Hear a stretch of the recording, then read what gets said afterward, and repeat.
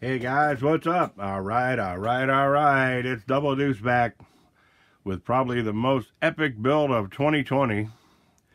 Um, this is this is uh, I shot the, you know, the big one when I uh, when I grabbed this build. So this is something I wanted to do, and I advertised it on my uh, community page for a while, and now here it is, and pieces are rolling in. So let's do it. You see, it's the Capo JK Max 2020 version. And I want to go over the kit with you and what I've done to it so far. And here we go.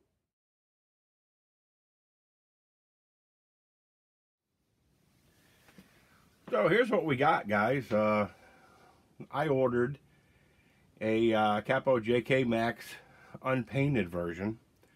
This is how it comes. It comes in a silver primer and uh, it uh, it was it was a challenge to get this kit. Let me tell you, um, this was basically a pre-order, um, from what I understand, and they had some delays in shipping, and they had some delays at the factory, and so I actually bought this kit way back uh, September October, and it finally, um, you know, finally came about and like I say, I want to thank uh, Rosen from uh, uh, Tintin Hobbies.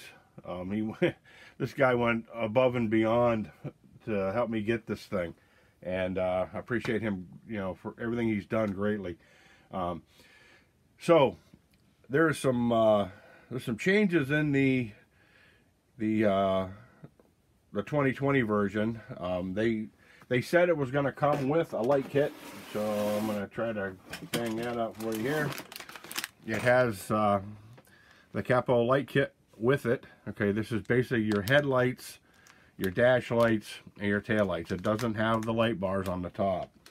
Um, uh, another upgrade that I see that they had picked up was um, it, they put the front mounted servo setup in there you know, instead of the cable driven. Um, I don't know if they had issues with that or what. I, I was expecting the cable driven because I kind of wanted a, a, nice clean look in the front. But it is available as an option. Um, now the disc brakes I had bought prior to this. I have already done a video on the uh, the disc brakes that are the functioning disc brakes. Um, you know, they're, they're pretty, pretty scale. And the reason that I had bought these disc brakes for this kit, and uh, it was basically the disc brakes that gave me the idea of this right here. And so it's been some retrofitting and thinking and yada yada yada but I got the Toyan um, FS100 methanol version it sits right in there like it was built for it. It is amazing how this thing sits right in there. All I had to do was make one bracket to set it in. And uh, as you can see, it sits nice and low. And um, I'm working on a transmission setup right now. I could use the stock transmission with this thing and put a, you know, and have a two-speed, but there will be no reverse with it. So and I do want to keep the uh, the interior with the seats and all that stuff um, you know to kind of keep it scale looking as a kit and go from there. Now one of the problems I had with this kit other than trying to receive it um, you see it's it's not put together yet. I'm still in the middle of putting it together. For the simple fact um, this kit has over 20 bags of hardware with it okay? And it is it seems like it's really complicated but however if you've been in the hobby and you've put some things together in your time it's a piece of cake.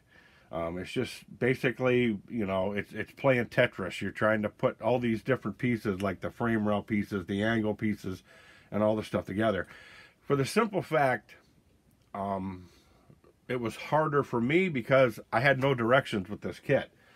Um, now, in prior kits, the um, in this little slot back here, you know, in the kit, there was a, uh, a flash drive that had all your directions in it. However, this was uh, no, not there. You have to go online and download them. So I did that, and the problem I had was my firewall kept um, messing with the download.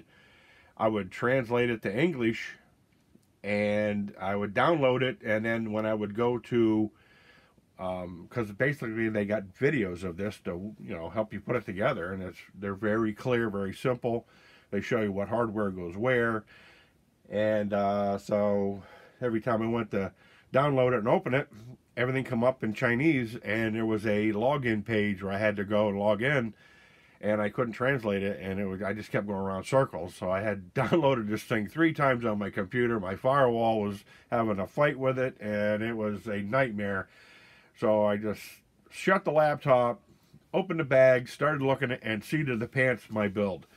Uh, if anybody's got a, you know, a version of this in English or something that they could hook me up with, that would be cool. But I'm almost through the whole build now. So, so anyway, I mean, so, this kit is super high quality. I mean, I, you know, this is this is one of them kits I wanted uh, before they plugged me into the ground. Um, I got it and I'm not regretting it. Uh, this kit was $1,525 for uh, the kit. And uh, just for um, good faith and with all the delays and stuff, uh, Rosen from Tintin Hobbies there had hooked me up with some servos and uh, speed controller for it, which is, I appreciate that greatly. So, um, but like I say, some of the, the, the changes on the kits, uh, there's the doors don't have the latches I see. Um, like I say the you know the front mounted servo uh, it comes with the light kit. Um, but basically all the other stuff is pretty there. I mean if uh, if you want to see a good build series on this um, um, uh, medic from uh, Spark Studios there on uh, YouTube he he's done a few of these he is a team driver for them, and uh, I think he's got two of these already. He has one with the aromatic kit um, that raises and lowers it with the air shocks. Um, you know, he put the, you know, the the dubs on his, which I'm going to do on this one too. So, but like I say, I wanted to show you guys, you know, the, you know, the just how well the Toyan engine dropped, whoop, dropped right in there, and you can see I had made a bracket right there to set it up in. And you know the kit is just phenomenal quality. I mean as far as the uh, you know even the, their disc brakes and stuff they're you know they're it's just amazing um, one thing I did find out um, some of the hardware uh, the heads are you know kind of stripped out on them. You know, the they're just, but they're all stainless, and uh, so I don't know if these came with the uh, the gold brass screws or plated screws or not, but the uh, on the most part, I'm basically working on a transmission for it uh, right now. Um, I did put together the factory version, you know, so far um, I did this all uh, seat of my pants. Um, there was a RC hobby shop in France that had the engine kind of downloaded on a YouTube video and uh, I checked it out and that's how I built it. And yeah, like I say, when you look at all the hardware and stuff you got, um, you can pretty much put it together. And uh, I got a can 540 in the thing right now and it has helical cut gears in it and which is pretty cool. And uh, but like I say, so my thought was I, am gonna I'm gonna put it together with the electric version in it. Um, the Toyan FS100 engine. Um, I put that in there because I would like to make that a Toyan FS100, but I would like to try it with the electric version, you know, for shits and giggles. But um, some of the, some of the cool things I noticed about the kit um, was the you know like I say the the quality is is phenomenal. It was there's nothing to complain about there. I've got some kits that were total nightmares to put together. This is a complicated kit, but it's well worth it as far as um, your finished product is. It'll be, you know, one of one. It's the best of the best. So, one thing I thought was really cool was uh, the guy. He's a big Pac-Man nut. So, like the the rims have a Pac-Man on them, and the rear ends. Um, you can see that there. They got a Pac-Man on them, you know, which is that was wicked cool back in the day. Um, one thing I was a little, uh, a little, I don't know, confused about because I'd seen this on, um, you know, Spark Studios there when he did his review on his, and um, everything in the kit comes with, you know, a, I mean, a really nice box and all that stuff, and uh, you know, everything's packed, I mean, extremely well. Um, but when I had opened the box, from what I understand,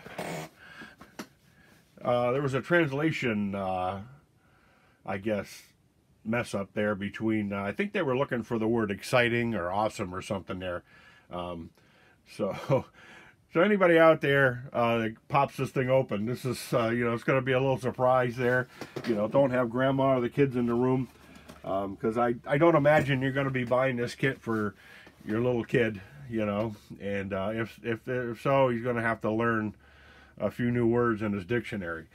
So, anyway, so this is the epic build of 2020.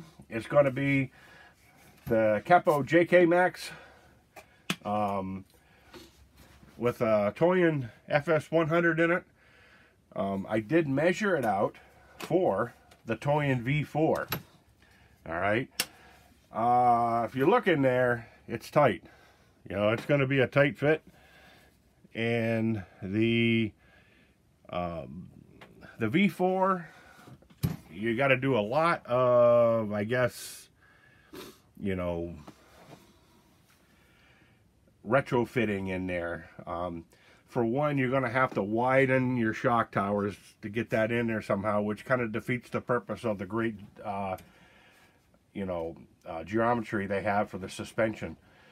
You know, once you uh, do that, plus the weight of it in the front. They do have a two-stage spring in the front of these things.